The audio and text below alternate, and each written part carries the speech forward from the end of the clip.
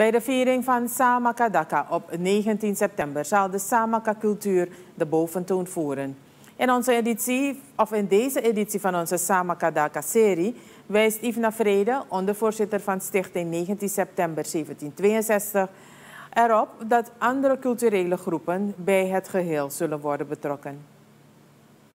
Samakadaka is voor dit jaar eenmalig uitgeroepen tot een nationale vrije dag.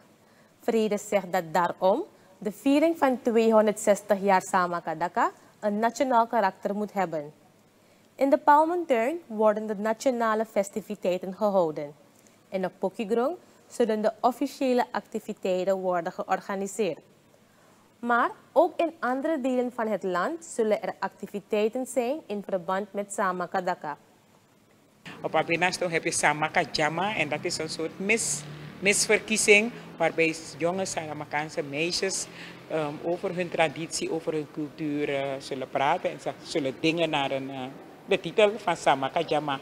De cultuur van de Samaka, daarom noemen we het Samaka Daka. De cultuur van de Samaka zal de boventoon uh, voeren. Maar er zullen ook andere culturele groepen aanwezig zijn, de inheemse groepen, de Aukaanse en alle andere Blakaman cultuur sani we doen. En um, het wordt heel mooi. Zoals gewoonlijk de Wenja Nationaal Day. Cultuurantropoloog Salomon Immanuels wijst erop dat er vele wijze lessen kunnen worden gehaald uit het Vredestraktaat dat is getekend op 19 september 1762 tussen de Samaka-stam en de koloniale overheid. Emmanuel zegt dat er heel veel is gebeurd in het proces naar de ondertekening van het vredesverdrag. Maar wat de boodschap daarin uiteindelijk was, was vrijheid.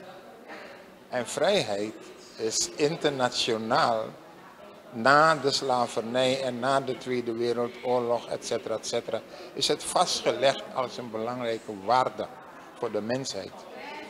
En je kunt zeggen, Marons waren in feite ideologisch gezien waren ze liberalen. Individuen die strijden voor vrijheid. En daarmee hebben ze behalve vrijheid ook geprobeerd om een aantal Afrikaanse waarden in ere te herstellen. Die gedurende slavernij werden onderdrukt. Verdraagzaamheid, hulpvaardigheid, zijn allemaal dingen die uit dat heel proces naar voren kan worden gehaald. In de toekomst moet er veel meer aandacht worden besteed aan deze Afrikaanse waarden die de voorouders van de Samaka in stand hebben proberen te houden. Deze moeten niet alleen worden gekoesterd, maar ze moeten worden vertaald naar onze handel en wandel, besluit Immanuels.